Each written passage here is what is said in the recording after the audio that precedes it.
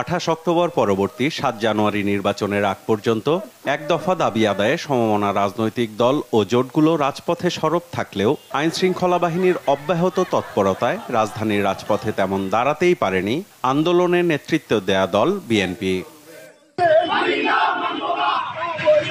সাত জানুয়ারি নির্বাচনের পর জনগণের শক্তিকে কাজে লাগিয়ে আবারও রাজপথে সরব হতে চান দলটির নেতাকর্মীরা। দলের নেতারা বলছেন, আগের যে কোনো সময়ের চেয়ে এখন তারা আরও বেশি শক্তিশালী, উজ্জীবিত। নির্যাতন তো আমাদের উপর অনেক হয়েছে।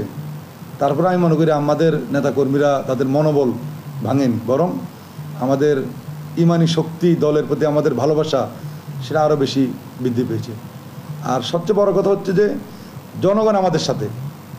বলে হ্যাঁ কে বলেন জনগণ আমাদের সাথে কে বলি? যারা গণতন্ত্রের প্রতি শ্রদ্ধাশীল, তারা কিন্তু কেউ কেন্দ্রে যাননি। তো এই- জনগণের যে ভালোবাসা জনগণ আমাদের প্রতি যে জনগণের যে সমর্থন এতে আমি আমাদের মানসিক শক্তি আমি মনে করি আরও আরও বৃদ্ধি পেয়েছে। মহানগরের নেতারা বলছেন সামনের আন্দোলন সংগ্রামের ফসল ঘরে তুলতে অতীত আন্দোলনে ভূমিকা রাখা নেতাকর্মীদের মূল্যায়ন করতে নেওয়া হয়েছে উদ্যোগ। যারা যোগ্য যারা সাহসী যাদেরকে দিলে সংগঠন ভালো কাজ করবে তাদেরকে আমরা এখানে মূল্যায়ন করব। আর যারা টোটালি মাঠে ছিল না তাদেরকে টোটালি বাদ করে বাদ দিয়ে দেবো এবং সে যেই হোক না কেন এই জায়গায় কোনো রকম কোনো এক্সকিউজ করার কোনো সুযোগ নেই। অতীতের ভুল ত্রুটি শুধরে নতুন করে আন্দোলন গড়ে তোলার কাজ চলছে বলেও জানান মহানগরের নেতারা।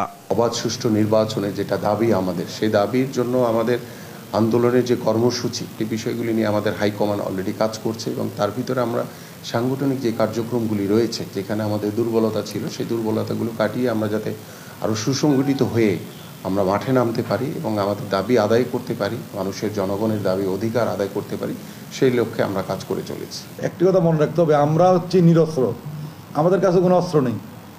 আর প্রশাসন বা আওয়ামী লীগের লোকজন তারা অস্ত্র নিয়ে আমাদেরকে উপর হামলা করেছে, আমাদের নেতাকর্মীদের গ্রেপ্তার করেছে, মারছে, হত্যা করেছে, গুম করেছে।